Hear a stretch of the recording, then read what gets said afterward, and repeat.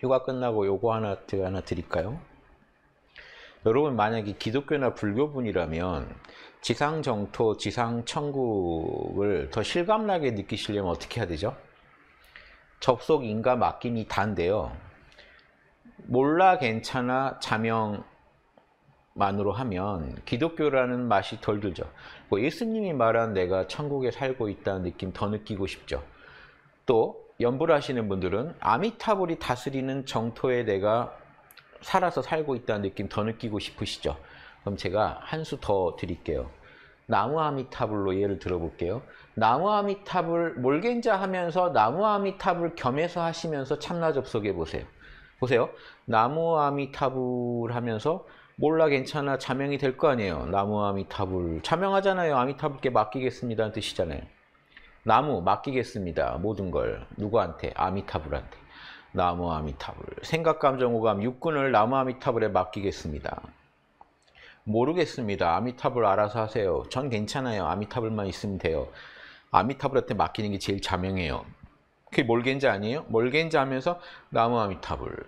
기독교는 예수님 자비를 하고 맡기면 되고 나무 아미타불 하고 맡기고 쉬면 참나자리와 무상하게 움직이는 변화하는 육군 자리와 내 우주 현상과 우주의 본질 참나 자리가 선명히 구분되겠죠. 맡기고 나면 나무 아미타불 할 때 한 번 할 때 바로 깨어나야 돼요. 접속 존재감에 접속해야죠.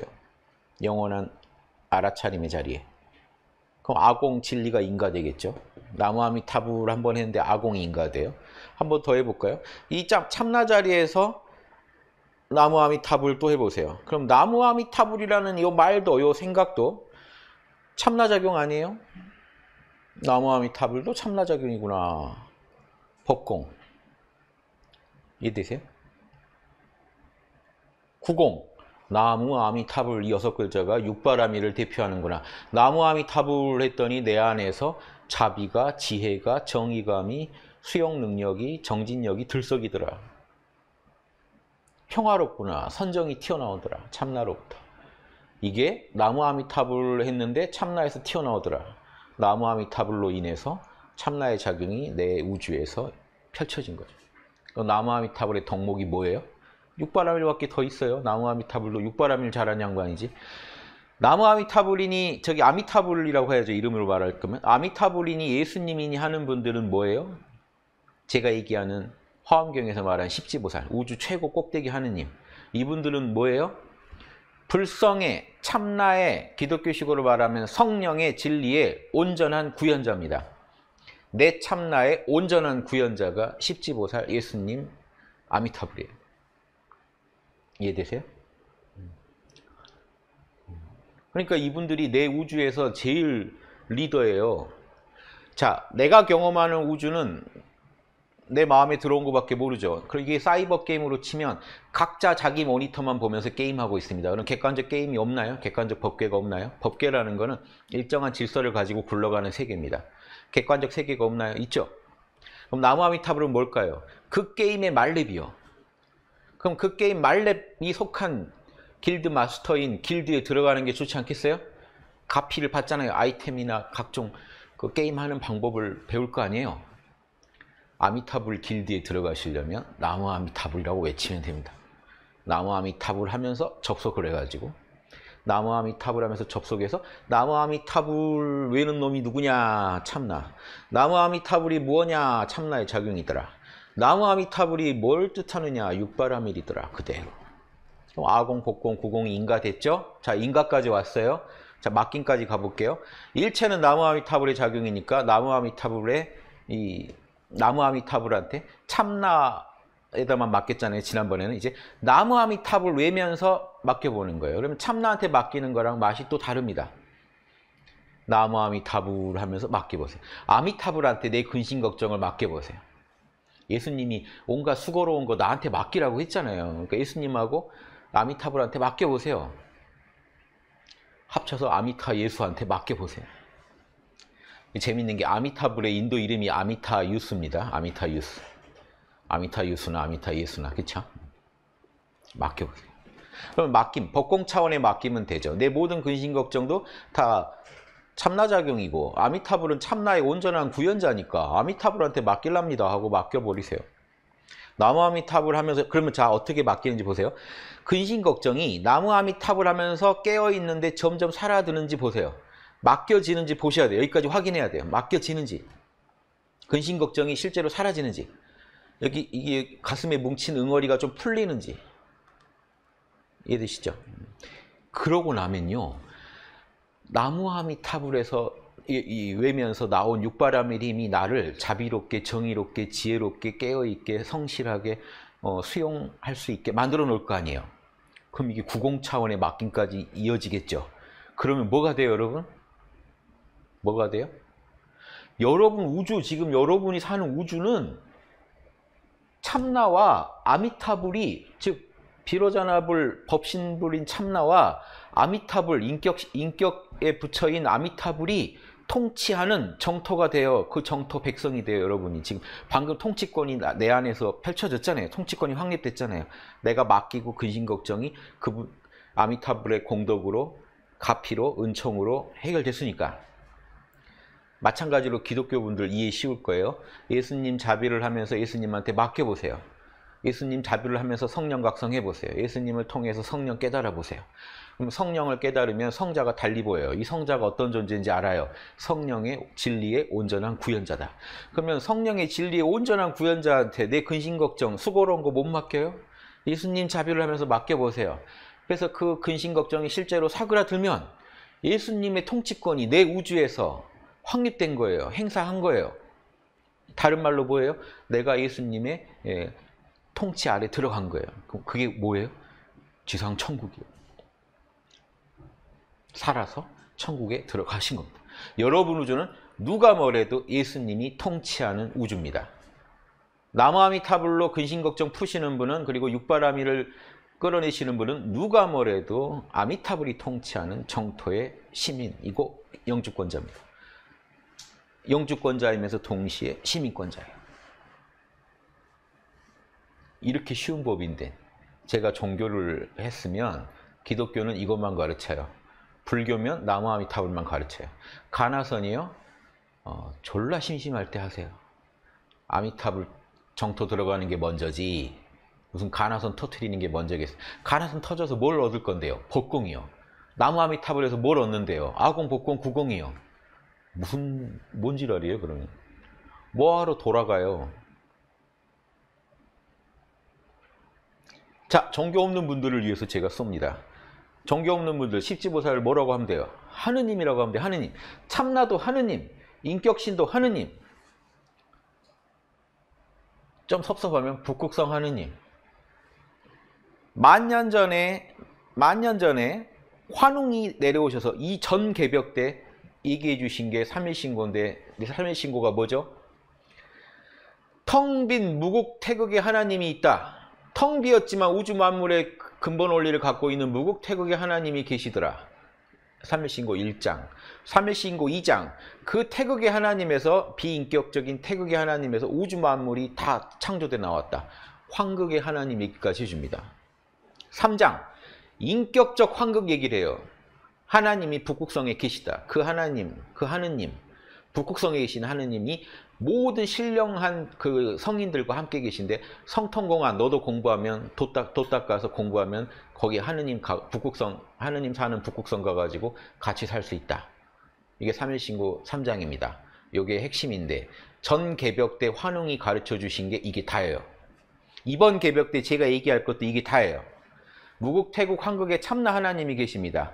텅 비어 있으면서 우주 만물의 씨알이 되시며 우주를 실제로 경영하고 계신 무국, 태국, 한국의 하나님이 계시고 인간 중에 제일 꼭대기에 계신 하나님이 십지보살이신데 불교 화엄경에서 말하는 이 하나님이 불교에서는 아미타불, 기독교에서는 예수님, 도교에서는 구천응원 내성보와 천전, 인도에서는 시바신, 우리는요 대왕조 한백원. 다 헷갈린다? 모르겠다? 북극성 하느님. 하느님 하면 돼요. 하느님. 하느님 하면 참나도 하느님이요. 십지보살도 하느님이에요. 즉 인간 중에 하느님이냐 그 인격을 초월한 하느님이냐 차이죠. 아, 전 개벽 때 환웅 대왕조께서 내려오셔서 가르쳐 주신 것도 어, 하느님과 소통하는 법입니다. 2000년 전에 예수님이 내려오셔서 가르쳐 주신 것도 하느님하고 소통하는 법입니다. 제가 지금 말씀드리는 것도 하느님하고 소통하는 법인데 그 하느님은 비인격적 하느님만이 아니라 인간 중에 하느님. 지금 우리가 왜 인간 중에 하느님을 그, 그 기려야 되는지 아세요? 여러분 우주의 최고 말렙이시고 그분 덕에 지구의 도가 펼쳐지고 있는 거예요. 지금 여러분이 저를 통해서 이런 진리 얘기를 들을 수 있는 거는 수많은 성인들을 지구에 보내가지고 가르치신 그 인간 중에 하느님이 계시기 때문에 그분의 노하우가 수많은 성자들을 통해서 우리에게 흘러든 겁니다. 고마워서 기리는 거예요. 내 우주에서 지금 이 순간에도 온 우주 인류를 경영하고 계시는 경영자 하느님이니까 그분한테 내 근심 걱정 맡기면서 그분이 제일 잘하시는 육바라밀의 힘의 힘으로 나를 인도해 주시길 바라면서 결국은 그분한테 맡기는 것 같지만 결국 누구한테 맡기는 거예요? 참나요. 성령이요. 왜? 인간 중에 하느님도 참나의 구현자란 말이에요. 성령의 구현자란 말이에요. 이해되세요? 그러니까 결국 우리가 기리는 십지보살 예수님 아미타불도 모든 중생이 또 다른 나라고 할 때 그분은 어떤 나예요? 가장 원만한 나예요. 가장 원만한 나한테 맡겨보세요. 평행 우주예요. 여러분과 저는 다 평행 우주의 또 다른 나들이에요. 이런 선택을 한 나, 저런 카르마를 지은 나, 수많은 나들이 있죠. 이 중에 제일 광명하고 원만하고 지혜롭고 전지전능에 가까운 그 나, 그분이 인간 중에 하느님 십지보살입니다. 여러분 우주에는요, 참나도 계시지만 인간 중에 하느님도 계신가요? 참나는 이 게임의 관리자입니다. 인간 중에 하나님은 여러분과 함께 구르면서 게임을 해나가고 여러분에게 실질적으로 인간의 언어로 도를 가르쳐 주시는 예, 말렙 길드 마스터예요. 그분 없이 게임할 수 있을 것 같으세요? 오음시 그 길맛장 이런 방식으로 접속하세요. 아미탑을 통치받아야 정토고 예수님 통치받아야 천국입니다. 요한계시록에 나와요. 하나님과 예수님이 통치하신다고 천국은. 그내 우주에서 바로 일어날 수 있다니까요. 그게 요한계시록에 나온 모든 환란이 지나간 뒤가 아니라 지금 바로 예수님 자비를 하면서 깨어나면 바로 이루어질 수 있다는 게 제가 지금 오늘 얘기한 골자예요. 접속 인가 맡김 중요하죠. 이걸 나무아미타블로 해보고 예수님 자비를로도 해보시라. 진정한 상위 자아예요. 예수님 아미타불이 나의 상위 자아예요. 나의 가장 올바른 모습이에요. 가끔 걱정 올라오면요. 올라올 때만 걱정은요. 죽을 때까지 올라와요. 걱정하지 마세요. 뭔 말이죠? 걱정은 죽을 때까지 올라오니까 걱정하지 마세요. 예. 그런 걱정하지 마세요. 저도 매 순간 올라옵니다. 걱정을. 그럼 그 얘기는 뭐예요? 매 순간 이 걱정을 어떻게 경영할 거냐는 게임이 계속 진행되고 있는 거예요. 게임이 진행되기 때문에 걱정은 계속 밀려오게 돼 있습니다. 방금 제가 말씀드린 대로 저를 길드 마스터라고 생각하는 지금 홍익 길드에 오신 분들 제가 말씀드린 대로 해보세요. 여러분 다 고렙 되실 거예요. 다 랩업 하실 거예요. 이 랩업 비결을 제가 이렇게까지 연구해서 말씀드리는데 안 해보시면 서운하죠. 그렇죠? 성부 성자와 함께 영원히 간다. 이런 얘기가 왜 성경에 요한복음에 그렇게 나올까요? 예수님이 요한복음에 보면요.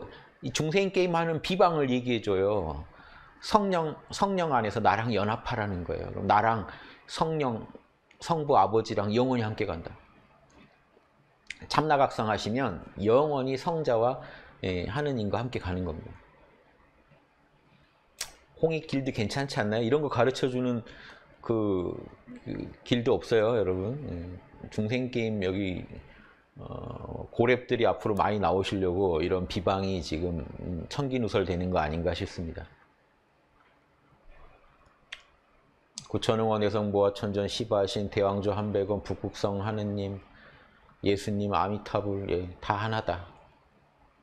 전 두 분으로 보지 않습니다. 이분들을 존경하는 대표님이 십지보살 아니냐? 예, 감사합니다.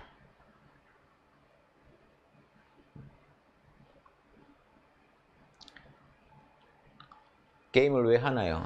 안 하면 도태돼요. 안 하면 안 하면 레벨이 떨어져요. 무섭죠? 옴시크 길맛장과 함께라 든든합니다. 가장 원만한 나는 인간 중에 하나님. 성경에 나온 인자, 동양에서 말한 인황씨, 인간 중에 황급, 십지보살, 길드마스터, 말렉 맞습니다. 예수님은 나의 그냥 가장 올바른 모습인 거예요. 자 보세요. 에고가 전부인지 알고 살다가 예수님 덕에 성령을 깨닫고 봤더니 성령은 온 우주가 하나예요. 예수님의 성령, 내 성령이 둘이 아니에요. 아버지 자리가 둘일 수가 없죠. 그러면 예수님도 성령의 작용이고 나도 성령의 작용이니까 예수님 또 다른 나인 거예요. 또 다른 나인데 문제는 예수님은 성령의 온전한 구현자고 나는 성령의 불완전한 구현자들라는 거예요. 온전한 구현자가 도와서 나도 사실 불완전 하나만 성령 깨친 거잖아요. 그럼 어떻게 예수님 무시하고 예수님과 접속하지 않고 예수님 길드에 가입하지 않고 내가 그 말레비 경제에 가겠냔 말이에요. 상식이죠. 그렇죠? 에고 입장에서 판단해도 상식이다.